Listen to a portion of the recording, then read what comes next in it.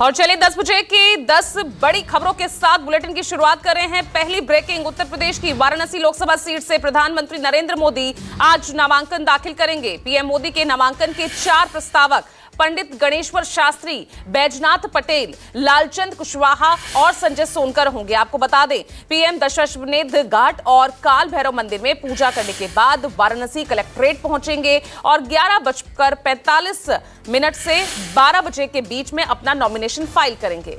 PM के नामांकन में गृह मंत्री अमित शाह, राजनाथ सिंह समेत 12 राज्यों के सीएम भी मौजूद रहेंगे। आगे बढ़ रहे हैं, दूसरी ब्रेकिंग आपको बता दें लोकसभा चुनाव में प्रचार प्रसार को लेकर पीएम मोदी आज एक बार फिर से झारखंड दौरे पर होंगे। कोडरमा लोकसभा क्षेत्र के बिरनी में साढ़े तीन बजे चुनावी जनसभा को संबोधित करेंगे। इस सीट से एनडीए प्रत्याशी अन्नपूर्णा देवी के पक्ष में मतदान की अपील करेंगे। आपको बता दें, कोडरमा और हजारीबाग लोकसभा क्षेत्र से 20 मई को मतदान होगा।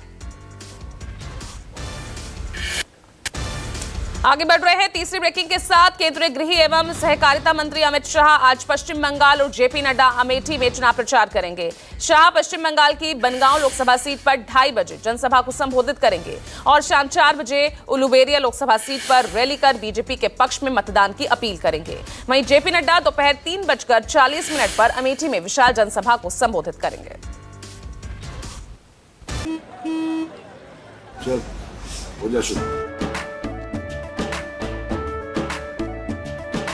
केसरिया से मन जोगी हुआ रे।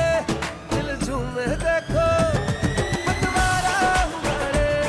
दिल झूमे देखो पतवारा हुआ रे। हर पल मनाओ केसरी त्योहार। विमल बोलो जुमा केसरी। आगे बढ़ रहे हैं अगली ब्रेकिंग के साथ आपको बता दें चौथी ब्रेकिंग आज प्रियंका गांधी अमेठी में और राहुल अखिलेश झांसी में चुनाव प्रचार करते नज़र आएँगे। झांसी में इंडिया गठबंधन के उम्मीदवार के लिए राहुल गांधी और अखिलेश की दोपहर दो बजे संयुक्त जनसभा होगी। और ये रैली इंडिया गठबंधन के प्रत्याशी, पूर्व केंद्रीय मंत्री प्रदीप जैन आदित्य के समर्थन में होगी। वहीं अमेठी से प्रियंका गांधी आज शाम सात बजे तक ताबड़तोड़ रैलियाँ और जनसंपर्क अभियान के ज़रिए प्रचार प्रसार करती नज़र आएँगे। आगे बढ़ रहे हैं पांचवी ब्रेकिंग। आपको बता दें, लोकसभा चुनाव के चौथे चरण में सड़सठ दशमलव सात एक फ़ीसदी मतदान हुआ। चुनाव आयोग ने आंकड़ों के मुताबिक पश्चिम बंगाल में सबसे ज़्यादा अठहत्तर दशमलव चार चार फ़ीसदी मतदान की खबर सामने आई है। आंकड़े जारी किए हैं। वहीं जम्मू कश्मीर में सैंतीस दशमलव नौ आठ फ़ीसदी वोटिंग हुई। आंध्र प्रदेश में अठहत्तर दशमलव दो पाँच फ़ीसदी, बिहार में सत्तावन दशमलव शून्य छह फ़ीसदी मतदान हुआ। झारखंड की बात कर ले तो यहाँ पैंसठ दशमलव तीन एक फ़ीसदी और मध्य प्रदेश में सत्तर दशमलव नौ आठ फ़ीसदी मतदान और महाराष्ट्र में इस बार भी रफ्तार कम, उनसठ दशमलव छह चार फ़ीसदी मतदान हुआ है। वहीं यूपी की बात कर ले तो यही मतदान प्रतिशत अट्ठावन दशमलव शून्य पाँच फ़ीसदी रहा। आगे बढ़ रहे हैं, अगली ब्रेकिंग आपको बता दें, दिल्ली के सीएम अरविंद केजरीवाल और पंजाब के सीएम भगवंत मान आज कुरुक्षेत्र में प्रचार करेंगे और इंडिया गठबंधन के उम्मीदवार डॉक्टर सुशील गुप्ता के समर्थन में रोड शो करेंगे। दोपहर साढ़े बारह बजे ये रोड शो होगा। और ढाई बजे तक पेहवा चौक पर और शाम पाँच बजे शाहबाद इलाके में रोड शो के ज़रिए ही प्रचार होगा। रादौर, गोगामेड़ी चौक पर शाम साढ़े छह बजे रोड शो का समापन होगा।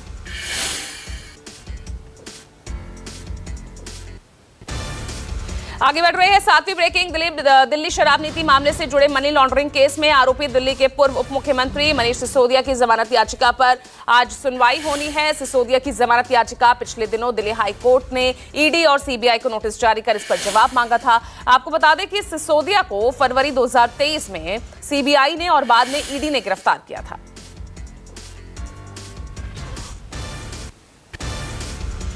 आगे बढ़ रहे हैं, आठवीं ब्रेकिंग आपको बता दें, झारखंड सरकार के मंत्री आलमगीर, आलम की आज ईडी के सामने पेशी होनी है। आलमगीर के निजी सचिव संजीव लाल के घर से करोड़ों कैश बरामदगी मामले में प्रवर्तन निदेशालय ने पूछताछ के लिए आलमगीर, आलम को समन भेजा है। तो ऐसे में आज उनकी पेशी हो सकती है और आपको यह भी बता दें कि आलमगीर, आलम के पीए संजीव लाल के घरेलू सहायक जहांगीर, आलम के ठिकानों से 35 करोड़ रुपए मिले थे। संजीव लाल और जहांगीर, आलम को ईडी ने गिरफ़्तार किया था। अगली नौवीं ब्रेकिंग बिहार के पूर्व डिप्टी सीएम सुशील मोदी का पार्थिव शरीर 12 बजे पटना आएगा और वहाँ से सीधे राजेंद्र नगर स्थित आवास पहुंचेगा। फिर उनका पार्थिव शरीर अंतिम दर्शन के लिए बीजेपी ऑफ़िस और बिहार विधान परिषद ले जाया जाएगा और उसके बाद गुलबी घाट में उनका अंतिम संस्कार होगा। आपको बता दें, बिहार के पूर्व डिप्टी सीएम सुशील कुमार मोदी का लंबी बीमारी के बाद कल रात निधन हो गया था। आगे बढ़ रहे हैं दसवीं ब्रेकिंग मुंबई से, जहाँ तेज आंधी ने किस तरह से भारी तबाही मचाई है? घाटकोपर इलाके में 100 फुट लंबा होर्डिंग गिरने से 14 लोगों की मौत हो गई। हादसे में 40 से ज़्यादा लोग घायल हुए हैं और जो खबर मिल रही है, फ़िलहाल वहाँ पर लगातार टीम्स जुटी हुई हैं और मामले की जाँच की जा रही है।